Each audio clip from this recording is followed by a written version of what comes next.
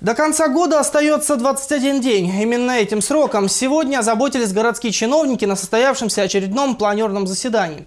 Как ни удивительно, но речь шла не о приготовлениях к Новому году. Вопрос был сложнее. Волгодонску за оставшиеся три недели необходимо освоить более полумиллиарда бюджетных средств. Как чиновники собираются выкручиваться из сложившейся ситуации, кто более других проявил себя нерадивым хозяином. Об этом материал Артема Бегодского. Суммы впечатляющие. Волгодонск бьет все рекорды. Город не может освоить выделенные лимиты на финансирование объектов социальной и коммунальной сфер. Об этом сегодня говорили на планерном заседании в администрации Волгодонска.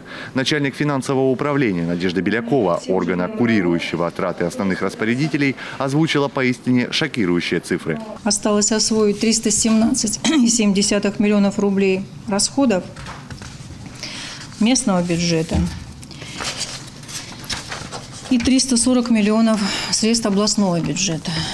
Представьте, цифра – это где-то трехмесячное финансирование на эти оставшиеся дни декабря.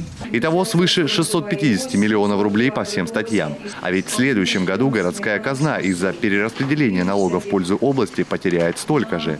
И если ситуацию не изменить, даст ли губерния средства в следующем году? Вопрос открытый. Причем отставание по освоению денег практически по всем направлениям, от образования до ЖКХ. Так в этом году уже точно не будут завершены капитальные ремонты в восьмой школе и бассейне «Нептун». Учителям остается только судиться с подрядчиками. Суд 13 декабря очередной по восьмой школе и в 20-х числах по третьей спортивной школе. Кстати, о подрядчиках. Контракты на капремонт и город опять заключает с одними и теми же фирмами, которые уже успели поработать на благо Волгодонска в недавнем прошлом. Краснодарская фирма сорвала контракт по, именно по ПСД, и мы его четко приняли, что он сорвала, разорвали с ними контракт, и разыгрываем заново, и заново нас выиграли. Вот это недоработка, которая с нашей стороны. Вот вам Перов, да? Я Перов или Перов, Серов? Перов, Перов. Вот он Перов, он же 11 школ он делал. Ну, завершил, да. библиотеку он делал. И мы его спокойненько все вместе пропустили, вот он, он еще один раз вылез.